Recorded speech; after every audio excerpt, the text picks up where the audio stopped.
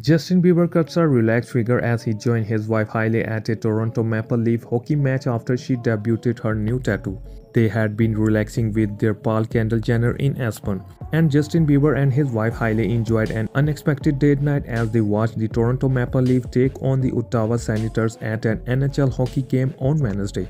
The singer cut a relaxed figure as he watched the game with his fresh-faced wife who shielded her face with a blue baseball cap. It comes after Hailey showed off her new tattoo on her Instagram story on Wednesday, revealing that she got a new tiny baby tat and showed off the delicate, precise bow no adoring the outside of her right hand and wrist. In the same close-up snap, she also simultaneously flaunted the massive diamond engagement ring and mesmerizing wedding band from her musician husband Justin Bieber. The entrepreneur who recently got LASIK eye surgery and had a weird funny-looking Google following the procedure also displayed some of the other tattoos on the same hand. She has a vast collection of divinity tattoos, one of which is a cursive J and a star she got on her and a Peaches hitmaker's first wedding anniversary. At the same session, she also got Beleza which means beauty in Portuguese, on the right side of her neck, according to her tattoo artist's Instagram post. One of her very first tattoos was the outline of a diamond behind her right ear, which she got around February 2019.